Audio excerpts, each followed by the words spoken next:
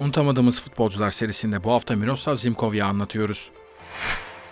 Polonyalı orta saha oyuncusu futbol hayatına Olimpia Poznan'da başladı. Widzew Łódź macerası sonrası 25 yaşında Wisła Krakow'a transfer olurken devre arası kampı için takımıyla Antalya'ya geldi. Antrenmandan çıkmış uyurken telefonu çaldı ve Trabzonspor'a transfer olduğunu öğrendi. Kimse onun bu ligde izler bırakacağını zannetmiyordu ancak ilk yarım sezonunda 16 maçta 9 gol 5 asist yaptı.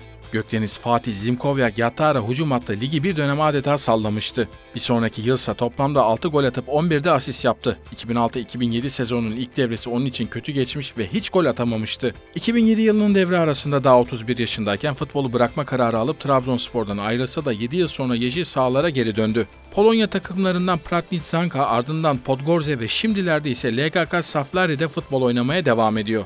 Bu arada kendisinin 46 yaşında olduğunu da belirtmek istiyoruz.